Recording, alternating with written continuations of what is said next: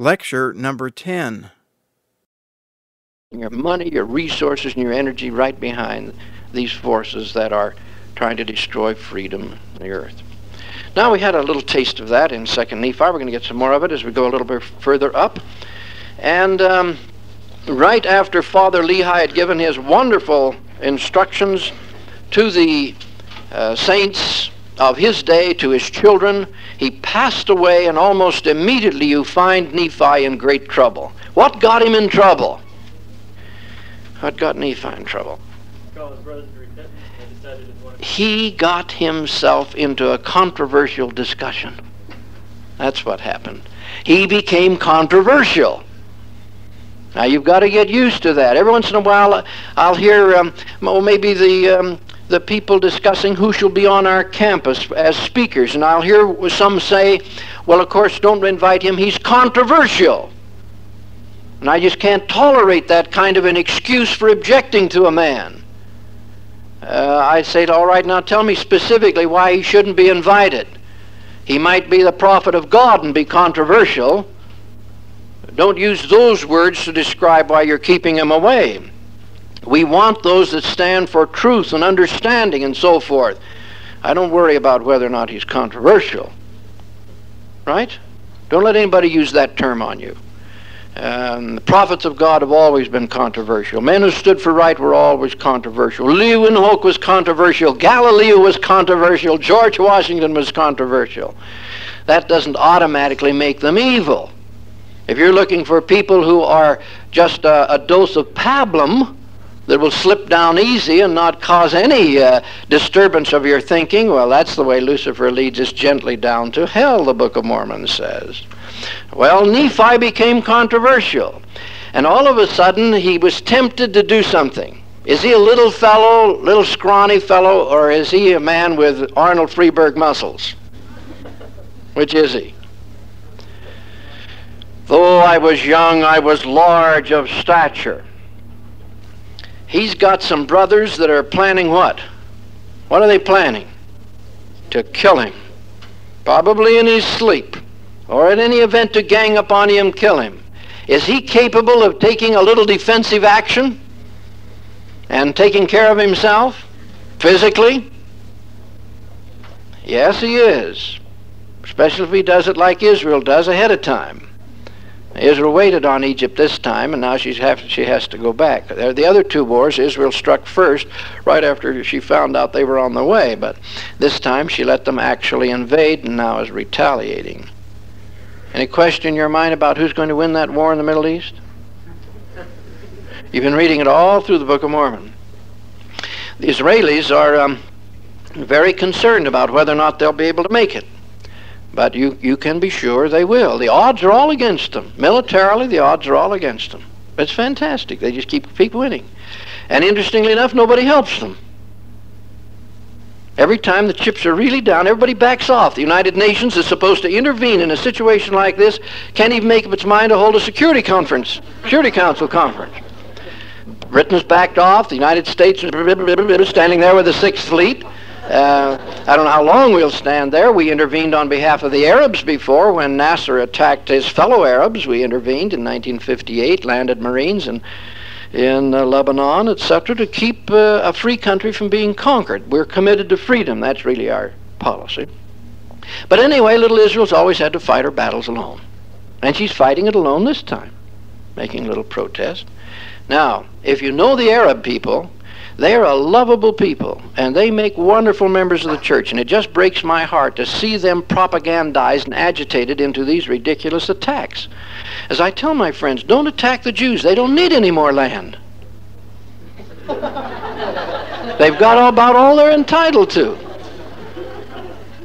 As Moshe Dayan says, if you don't leave us alone, we're going to go into Cairo and liberate the Egyptians. And we'll go into Damascus and liberate the Syrians, both of whom are under dictatorial authority. He says, we're just getting sick and tired of these warmongers preying upon us. Well, Nephi, feeling the, um, the necessity of uh, keeping his feelings under control and not retaliating, waits upon the Lord. And did the Lord uh, rescue him now from the threats of his brothers who want to kill him? Did the Lord rescue him? What did he tell him to do? Run. No. That's not very heroic. I mean, he's capable of taking on these fellows, really. He's even got the sword of Laban. The Lord says, flee. Now, it turns out he must have done it very secretly. I wish we had the details of that story because he got away from the four families that wanted to kill him the two sons of Ishmael and Laman and Lemuel's families.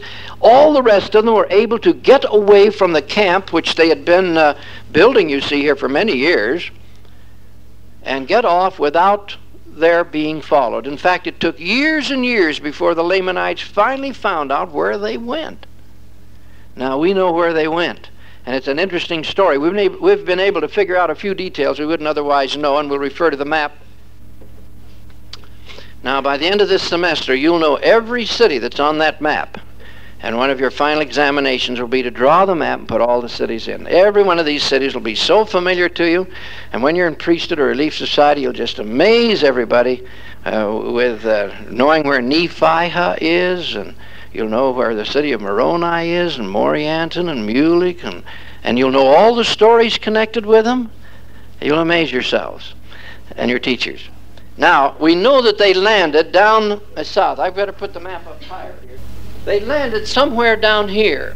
Later, when uh, the four sons of King Mosiah come down to convert the Lamanites, they will go to the city of Ishmael and they will call it the place of their first inheritance. But it turns out to be not of the Lamanites and the Lemuelites, but of the Ishmaelites, the, four, the two sons of Ishmael.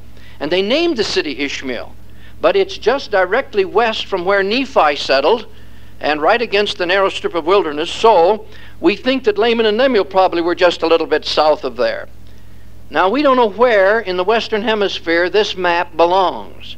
It looks like uh, the northern part of South America if the, if the valley of Brazil were inundated. There was a sea east about where the Amazon Valley begins. Or whether it was one of the large sections of Central America. We're just not quite sure yet. So we don't worry too much about that. The Lord will reveal it in due time. Now, when Nephi and his people departed in the wilderness, look where they went. They came into the wilderness until they hit this narrow strip of wilderness that goes from the sea east to the sea west. Now that was so terrible, those mountains were so high and so fierce that you could not penetrate them. And for 350 years, the Nephites were held tight against that narrow strip of wilderness and did not spill over into the beautiful Sidon Valley on the other side where God had established the Mulekites. And it brought them over across the Atlantic in their case and established them there, and they were, had become a mighty people, uh, while the Nephites were working their destiny out down south. For 350 years, uh, the Nephites were held right here against this narrow strip of wilderness in their capital city, which we have called Nephi. It took the Lamanites, as I say, many years to discover actually where they had gone, but when they found them and found their lovely cities and their crops and nice uh, uh, fields all cultivated, why, they immediately began to attack and say, We want some too. that you've prospered in raising. Well, it was a prosperous city. Nephi immediately started building nice homes, and uh, what was their main building? Their main building was a temple, copied after whose temple? Solomon's. Now, the early settler, the early critics of the Book of Mormon said, "Now that's ridiculous because the Jews who had only one temple, they didn't believe in having more than one temple, and uh, their ignorance has now been uh, exposed." And we have now actually discovered uh, the writings of some of the Jews who had to flee clear down near the Aswan Dam in Egypt. And we actually have the letters in which they write back to Jerusalem and um, say, We built a temple and it's been destroyed. May we have permission to build another one? The word come back, by all means, build a temple and offer sacrifices. Just blasted that uh, apostate religious theological uh, uh, co- concept concerning temple worship that you can only have one. Not at all. You can have many. And, and in all of the cities, they begin building temples. After when the when the Christ comes, he's going to come to bountiful, not Zarahemla, not Nephi. He's going to come clear up near the narrow neck of land and appear at the temple. So they built many temples. Well, I just wanted you to remember that it's right up against the narrow strip of wilderness that they will be held for 350 years. Then they're going to spill over, discover the the Mulekites, just as the Mulekites have discovered the last of the Jaredites, who are up in uh, the land northward. All three peoples will live simultaneously together. Now, your book has a breakthrough. It doesn't appear in any of the other the church uh, books, but many of the Book of Mormon scholars have known for quite some time that the Jaredites were not wiped out right at the time that Lehi arrived in 600 BC, about. Uh, they weren't wiped out uh, by civil war until nearly 250 BC. So all three peoples lived together contemporaneously for many, many years. Now that'll begin to unfold in your mind. One of the things that's exciting now about studying the Book of Mormon is we've solved many of the problems. By we, I mean um, the generation just ahead of you. Those scholars have penetrated many of the difficult problems in putting it together. Now there are other things that you need to do. Use that as a foundation and climb on up. So you'll notice that uh, Nephi says, And I taught them how to build with wood. I taught them how to use silver and gold and iron and zinc and these other things, uh, um, brass. We're not sure whether they used much zinc or not, but they, they did use a lot of copper and tin together to make bronze. They say brass in the Old Testament a lot of the times, but um, we distinguish between them. Bronze is what they really use, but that's the modern term for it. The old term is brass. But tin and copper make bronze, and zinc and copper make brass. Okay? Try to get that clear in your book. Now, after they had settled there for a while, and when, um, when uh, Nephi was about 46, the Lord told him to make a new set of plates. So they'd been there about, it's about 30 years out of Jerusalem now. And 30 plus 16 makes 46, doesn't it? So Nephi is about 46 when the Lord says, Now make some new plates and emphasize only the spiritual things. So that's the plates it turns out that we're now reading. Uh, the big plates we don't have. They're still in existence, but we don't have them. Then when he's 56, we get into the sermons of Jacob, in which he says to his brother, Now you teach the people that the things that are in Isaiah, because that's all about the latter days I saw. I got to see all the latter days. And Isaiah saw the latter days. And so, will you tell them all about the latter days? You're a great speaker, and you tell them. So we got all those wonderful teachings from Jacob, which includes an additional. Uh, uh, dissertation on the atonement, and now I must stop and make sure there's some things you understand about the atonement. What is the source of God's power? What is the source of God's power? Pardon? Doing what? The, what's the magic word? Obedience or honoring Him when they obey him and honor. He says in the Doctrine and Covenants, My honor is my power. All those intelligences out in the universe, they're in every electron, every atom is a whole universe of little intelligences and bits of matter.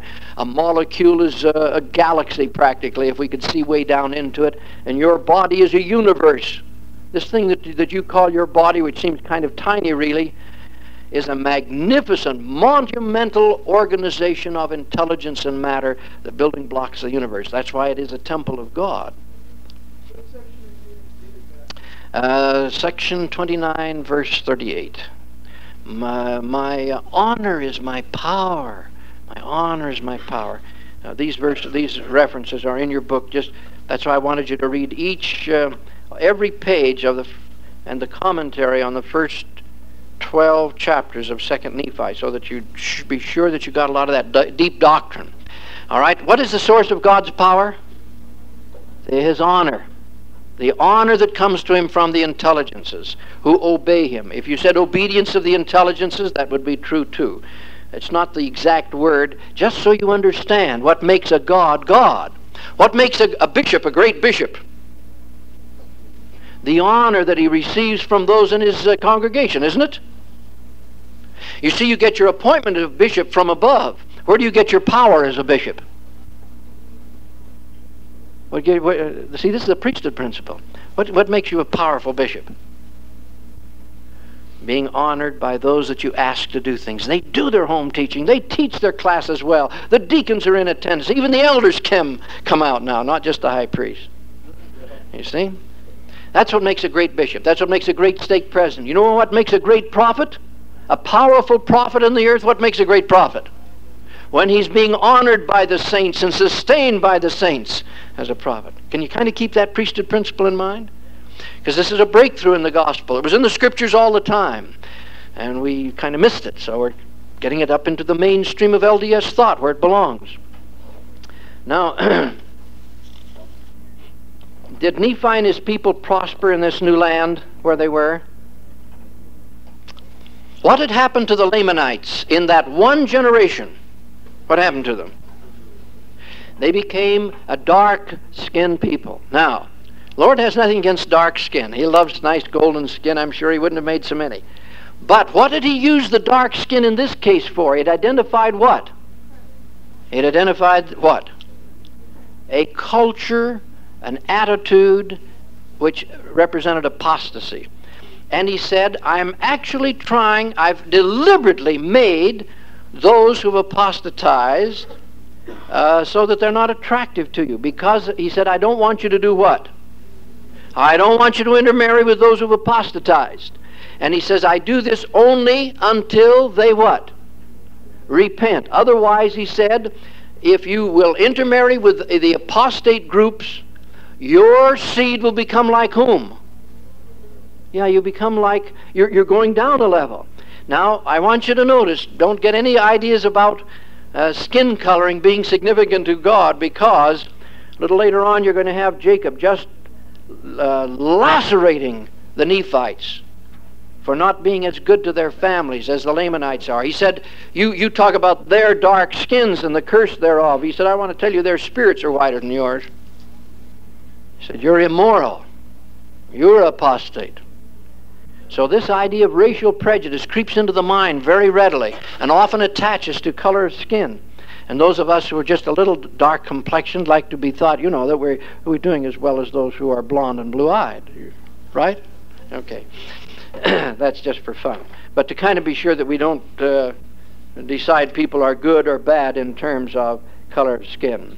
Now it talks about the last days, and that's really what um, Nephi wanted to emphasize that the Jews would return and Israel would begin to commence to be gathered out uh, and would come together. When are the Jews going to go back to Jerusalem voluntarily? This is an important doctrine. The ones that are over there now, did they joyfully go back to Jerusalem uh, to um, uh, uh, from prosperous circumstances to build it up? How did they happen to get in Jerusalem? They're refugees. Three million of them now. Uh, the ones that uh, are not refugees number in a few thousand. All the rest of them are there because they just weren't allowed to go anywhere else. Now, the, where are the majority of the Jews today? Have they gathered yet? No, where are they? They're in Beverly Hills and in the Bronx and in Miami. And uh, are they one day going to gather? Joyfully. When? When they believe in the Messiah. And after the Messiah appears among them, it isn't going to be very difficult after he's saved them in Jerusalem to knock on the doors in Beverly Hills and say, Have you heard what's happened in Israel? Yes, the Messiah has come. Would you like to know more? See, that'll be the golden questions to the Jews. And then there we, they, will, they are going to have their day, and we'll convert them. Now we're converting a few. We have one here on our campus now who is a convert from Jerusalem. He's the number one convert from Jerusalem, converted in Jerusalem. He's now on the campus. We've converted several Jewish students who came to BYU and were converted while they were here, but to convert them in Jerusalem is not easy. Now it says, um, chapter 50 of Isaiah, which is 2 Nephi chapter 7, is directed to anti Zionist Jews, to Arabs, and to other people who do not believe in this gathering. They're going to stop it, they're going to wipe it out. Did you have a question? You say, don't they hold their own? Yes. Book of Mormon says they'll never be driven out. Once they start gathering, they'll never be driven out. And let me just share something with you, lest I forget to mention it to you. You know, we've talked about how the how can the Jews build their temple when the Dome of the Rock is there over the spot, apparently. I have felt for a long time that probably what will happen is that during one of these wars and the bombings of Jerusalem, Dome of the Rock is going to be destroyed by its own people. It's probably the second most beautiful building in the world, many architects think. But just kind of put that down in your book. I won't be a bit surprised if the Dome of the Rock is destroyed by its own people. The Jews say they're not going to destroy it. And you remember when they asked the rabbi, How are you going to build your temple in the spot where Solomon's temple used to be when the Dome of the Rock is on it? And you say you're not going to destroy it. Then how are you going to build your temple? And the rabbi said, That's God's problem. The Dome of the Rock was built by the Mohammedans or the Islamis, the Islamic people, over the spot where um, the son of Abraham was offered as a sacrifice. It's the top of Mount Moriah, you see. It's the spot where the Holy of Holies of Solomon's temple was. It's the spot where Muhammad says he went to heaven on a white horse and received the Islamic religion from Adam and Moses and Jesus. They do. And the Jews honor it and they do not desecrate it. They treat it as though, as the Jews said to the Arabs, you're not a conquered people. Uh, but we don't even allow our own people to riot. So don't riot. We move in with machine guns. We don't care whether Jews or Arabs. Keep the peace. Pay your taxes. Pax Romana. Uh, okay. Um, now, that, uh, that 50th chapter then is the, the Lord talking to Isaiah, and he said, In the latter days now, you people, I did not forget you. I didn't put you away. I can restore you.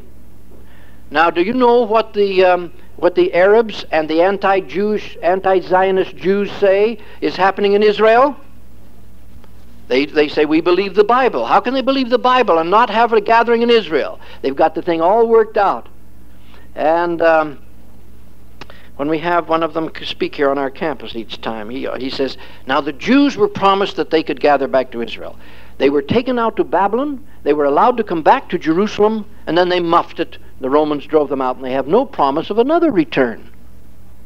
And I, I said to Mr. Lilienthal when he was on campus, and he and I had a, a so called debate, I said, Mr. Lilienthal, will you accept what the Bible says about the gathering?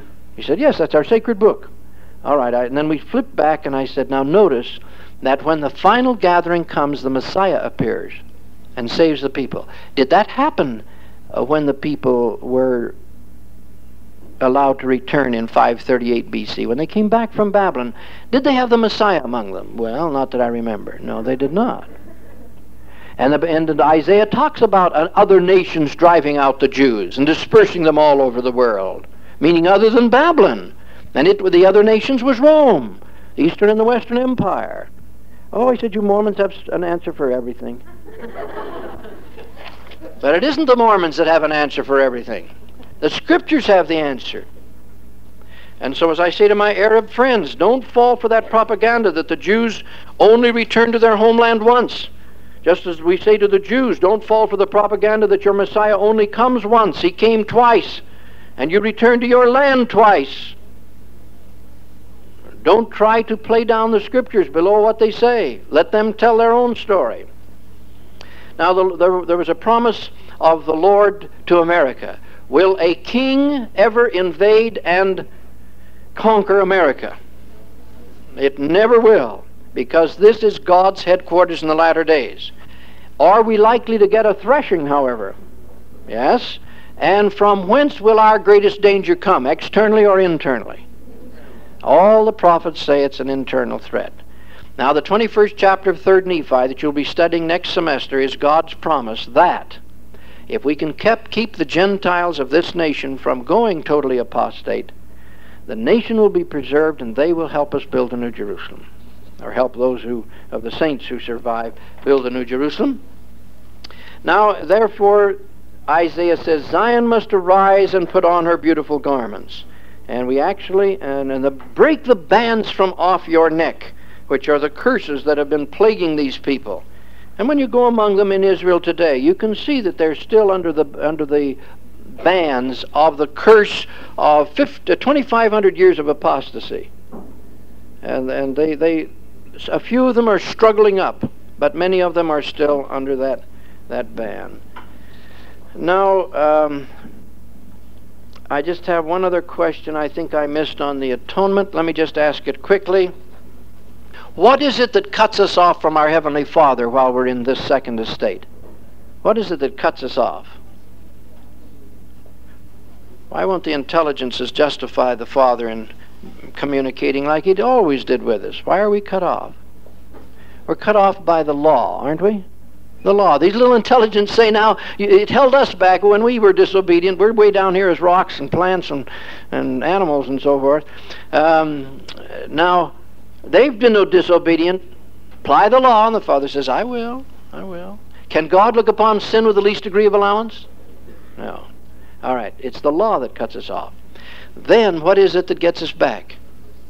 The principle of mercy, compassion that Jesus suffering, uh, inspired in all of these little intelligence, so that when Jesus says, now they, they did the best they could, they really tried, they repented. For my sake, won't you let them come up? And they'll say, For your sake, yes. Not for theirs, the rascals. But for your sake, we will. So we are taken back on the principle of love and mercy. Don't forget that. Those are the two things to keep in mind on the atonement.